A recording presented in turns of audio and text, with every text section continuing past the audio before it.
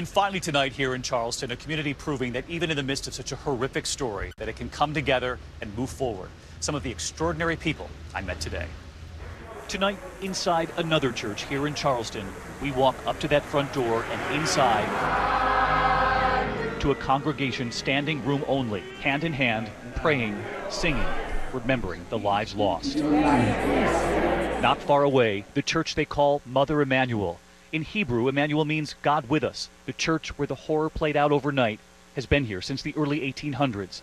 God, we welcome and invite you into this place. And tonight, Your that reverend who was among the first to be shot and killed, this community remembering what he said before. Could we not argue that America is about freedom, whether we live it out or not? But it really is about freedom, equality, and the pursuit of happiness.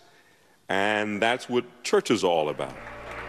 And today, leaving that other church, the people who live here in this community, determined to move forward. That's what we're looking for unity in the community and a peace that surpasses all understanding, and that we'll be all able to get along. That Charleston has the solution, and the solution is surround each other in love and support and move forward. And that is World News Tonight from South Carolina. I'm David Muir. I hope to see you tomorrow night.